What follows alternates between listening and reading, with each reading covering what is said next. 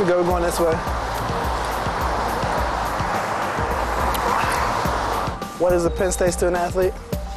Penn State student athlete, someone who puts just as much time into football as they do in the school and succeed in both school and on the field. Some incomplete, blanketed by Justin King. We take our school serious here at Penn State, so you definitely want to set yourself up for later in life and to be successful and not just on the football field in school. So, I mean, we definitely take academics seriously here, so that's why we schedule the toughest of the tough classes. Uh, when you start being around so many successful people here, you meet people from all different walks of life. You're going to meet people that want to be so many different things in life and just how smart they are and how they apply themselves.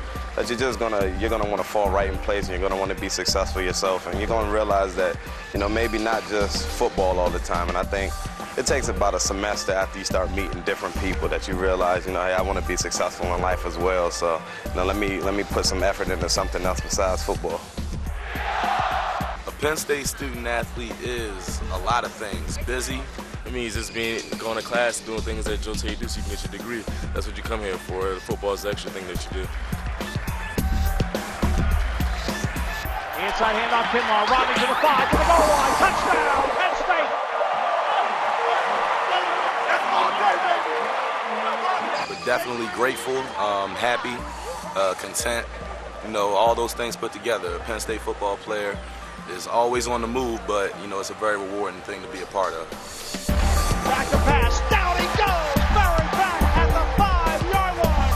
Aaron Maybin.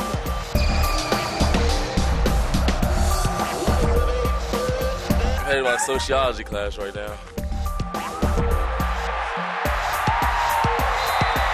All right, see. Carry 27 with plowing the road, 20, 15,